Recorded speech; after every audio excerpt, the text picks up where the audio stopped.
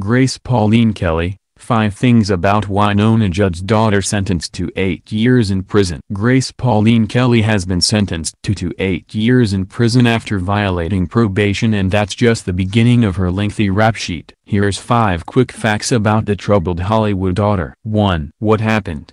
First off, Grace Pauline Kelley, has been sentenced to 8 years in prison for leaving a court-mandated drug recovery program, violating her probation, according to Radar Online which also reported that her arrest was issued in November 2017. She has been serving her jail time at the West Tennessee State Penitentiary in Henning, Tennessee since April 2017, according to reports. Kelley's release date is August 10, 2025, but she is eligible for parole on February 4, 2019. 2. She's been in trouble with the law before. Months before beginning her jail sentence, mentioned above, Kelley pled guilty to meth manufacture, delivery, sale and possession with intent in Williamson County Court in May 2017. She was also charged with manufacturing and delivering meth in Maury, a nearby county. However, she pleaded guilty to the lesser charge of possession of meth. Kelley was previously ordered to serve 11 months and 29 days in jail,